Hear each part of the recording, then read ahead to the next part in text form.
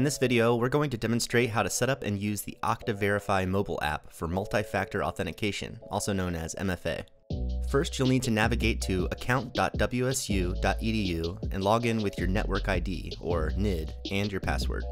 On the following page, you'll find all of your WSU account settings, including your password, security image, and most importantly, your multi-factor authentication options, which are listed in the box titled Extra Verification. To edit these settings, navigate to the top right of this page, locate the green Edit Profile button, and select it. This will prompt you to re-verify your password. Enter it into the field and select the Verify button. If you currently have any other MFA methods activated, you'll be prompted to select one of them on the following page. Any MFA options that you have set up will always be accessible at login by clicking the drop-down arrow to the right of this MFA icon. And in this case, we'll choose the SMS or text message method and select the Send Code button. Once we receive the code via text message, we'll enter it into the field and select Verify.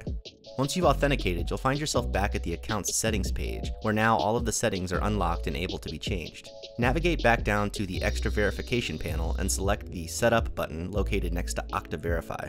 On the following page, select the Setup button. Select your smartphone type, and on your smartphone, download the Okta Verify app from your device's specific app store.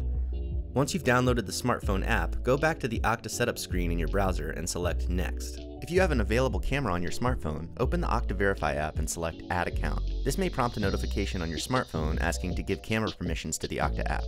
Select Yes and use the camera inside of the app to scan the barcode on your computer screen. If you don't have access to a smartphone camera, you can add your account manually by selecting the Can't Scan link right below the barcode. Next, you'll have a few options for being sent the activation link. We'll choose Send Activation Link via SMS. Make sure the country is correct, enter our phone number, and select Send. In a few seconds, you'll get a text message from Okta with an activation link. Selecting the activation link will open your phone's web browser app, which will then ask if you want to open the page in the Okta Verify app itself. Select Open, and if successful, you'll see a banner at the bottom of the app confirming your account has been added. Once you've added your WSU account to the app using either one of these methods, you'll be automatically taken back to the account's settings page. You'll notice that all of the settings panels are still unlocked and editable. To lock them again, navigate to the bottom of the menu panel on the left side of this window and choose Sign Out. And that's it. Now that your Okta Verify settings are configured, let's test them out by heading over to the MFA test site at mfa.it.wsu.edu. This is a really neat tool for simply testing your various MFA settings, and it's set up just like the usual WSU login screen. So let's select our new Okta Verify option from the drop-down menu. Now with Okta Verify, we have two options. Option 1, the code generator. Much like the Google Authenticator app, Okta Verify provides a 6-digit code that renews itself every 30 seconds. To log in using the code generator, select or enter code, and looking back at your app, enter the current code. And that's that, you're in.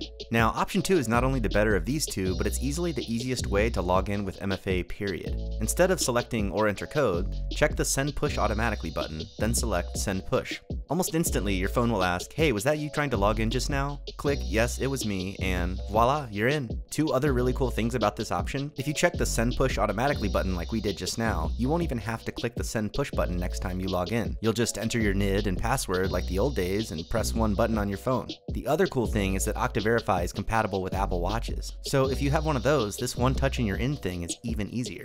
So that's how to set up and use the Okta Verify app. If you still have questions about how to set up Okta Verify, reach out to the Crimson Service Desk at crimsonservicedesk.wsu.edu or check out the self-help article links in the description below. And finally, don't forget to subscribe to ITS on YouTube so you can stay in the loop about videos like this one and more.